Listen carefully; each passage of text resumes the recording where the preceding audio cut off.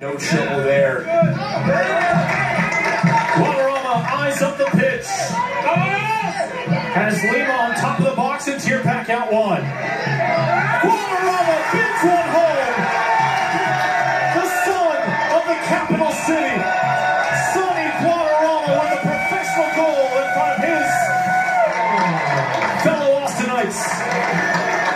He is stripped of this moment. He told me wanted to do was represent his city at the professional level. Ten years in Mexico, finally gets to represent Austin.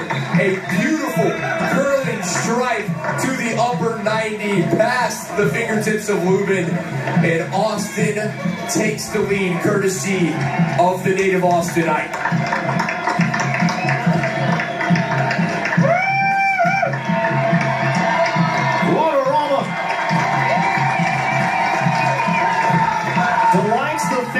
Have watched him all throughout his career.